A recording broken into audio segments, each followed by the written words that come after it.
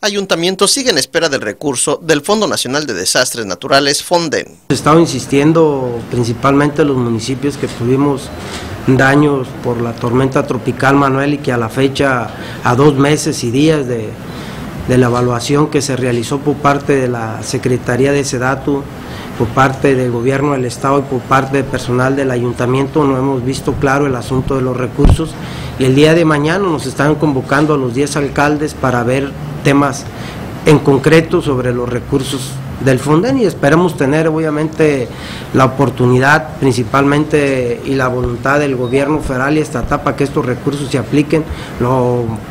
más rápido posible para resolver principalmente en nuestro municipio problemas que ya todo el mundo sabe, ¿no? que son las avenidas principales de la ciudad que requieren de un bacheo o un mantenimiento. Se trabaja para conseguir el recurso económico para el pago de prestaciones de fin de año a los trabajadores. El tiempo ya no nos va a dar para rehabilitar principalmente las avenidas principales, pero esperemos que el esfuerzo que está haciendo el gobierno municipal en tener una avenidas 100% limpias, transitadas y esperar que este recurso, si se libere esta semana, pues a través de la dependencia federal se aplique lo más rápido posible y entrar el año con el trabajo el 100%. Nos quedan 15 días, la realidad es que el tiempo está encima, los programas federales principalmente por fin de año todos, en este caso el gobierno federal, el estatal y los municipios, estamos enfocados en tener los recursos para poder pagar a todos los trabajadores de los gobiernos, en este caso Lázaro Canas,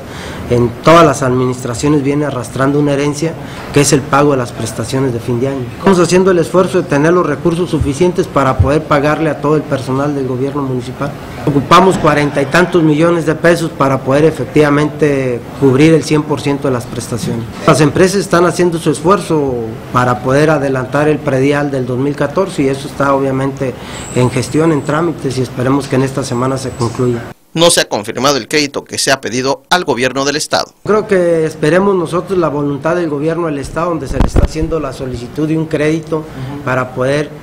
garantizar el pago de todas las prestaciones de este 2013.